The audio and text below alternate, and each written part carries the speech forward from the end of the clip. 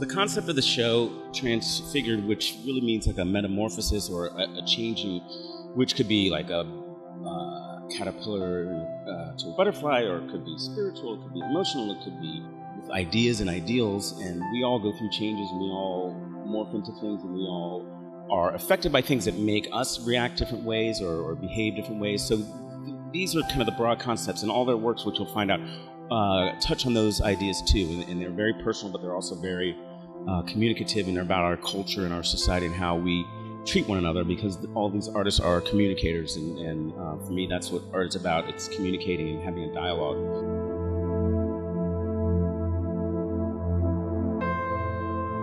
So a lot of my work deals with how technology affects us, affects our lives, affects our identities. Um, but I expand upon that using you know, metaphors. Um, so the newer work also deals with that. But my, my work is really rooted in people and humanity and, and thinking about what's going to happen when we look outside of the screen and into ourselves a little bit more.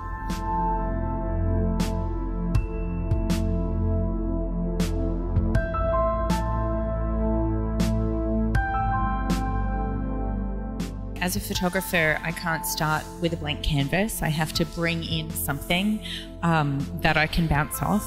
And so often I'll work with models and dancers. In this instance, I was using these documents that were the choreography of an attack of hysteria. They invented all these incredible documents with these poses that they said were the, the typical phases of the attack the period of clownism and the period of delirium and period of passionate attitude. So I took this as a kind of piece of choreography and I had my models enact it and I 3D scanned them.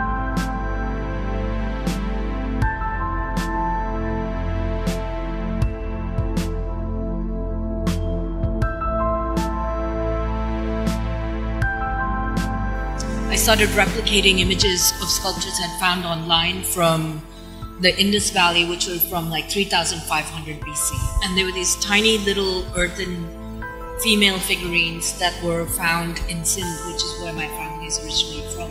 I fell in love with the form and I started to recreate it. And when I found the form, I had been looking for this particular Indian goddess called Lajja Gauri, who's always shown with her legs wide open in the birthing position. I feel like I wouldn't have been able to make the sculptures themselves un until I became a mother.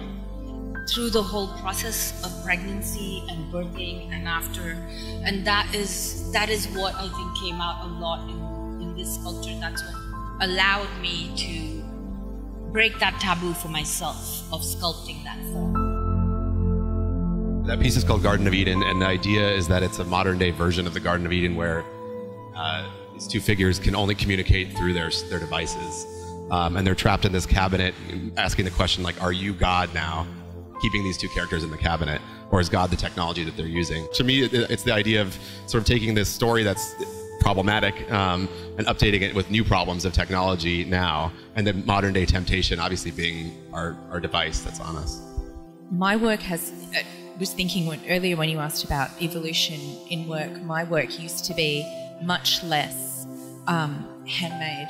And I would show the white 3D printed material straight out of the machine and I wouldn't alter it at all. It had this very clean and very designy, cold aesthetic. I'm not sure if I'm thinking about my works being anything except a marker of the time in which they're made and to stand for that time for example, right? So, what I mean by that is this piece is talking about um, the extraordinary number of black trans women that are killed in this country.